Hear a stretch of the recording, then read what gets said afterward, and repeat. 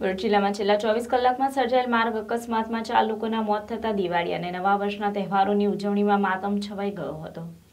અકસ્માતની પ્રથમ ઘટના ભરૂચના ટંકારિયા ગામ નજીક સર્જાઈ હતી, જ્યાં એસટી બસ અને બાઇક વચ્ચે સર્જાયેલા ગમખ્વાર અકસ્માતમાં બે યુવાનોના મોત નીપજ્યા હતા.